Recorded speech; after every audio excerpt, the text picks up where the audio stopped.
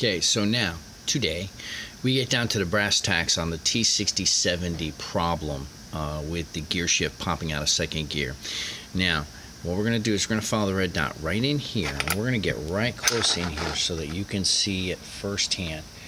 Those teeth are actually rounded off, and you can also see that they are not clean, especially right here. You can see uh, the engagement on the synchronizer dog is completely worn away.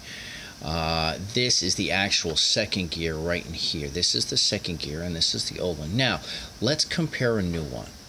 Now, if you look and you take a look, you can see the teeth right here are very sharp and very, very defined in their engagement point. And you could see the way that they make the actual teeth. They cut it so that once it gets past this point here, it fully engages the synchronizer hub.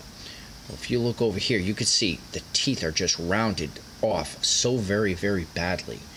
That's what created it pop out. Because if it cannot get all the way down here, all the way to where my fingernail is, it will not lock itself in. So if it's bouncing right there, just like up here with these teeth, you can see it all rounded off, especially right here. You'll excuse the little bits of uh, rust there. I washed them last night.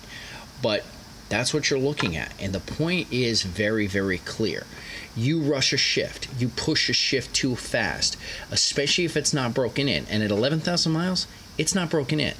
Let's take a look at the actual synchronizer surface themselves. Now you can see right here, right where my thumbnail is, that has been very, very overstressed, which basically means someone was really working this transmission very, very, very hard. Now, second thing you also want to look at is how many different friction surfaces we have. Because let's look, this is bronze, but yet this right here is a carbon type of frictional surface. So you actually have two different frictional surfaces in the cone area. See how they sandwich together? One cone, two cone, three cone. That's what they call a triple cone frictional surface. That's where the terminology comes from. So, fluid is so, so, so critical. Using the correct fluid in the transmission, making absolutely certain that everything is bed in so it the gears look nice and clean, just like this. Put everything together, and you're going to have problems if you choose to power shift a transmission to lean on a transmission very, very hard, you're going to get failures like this.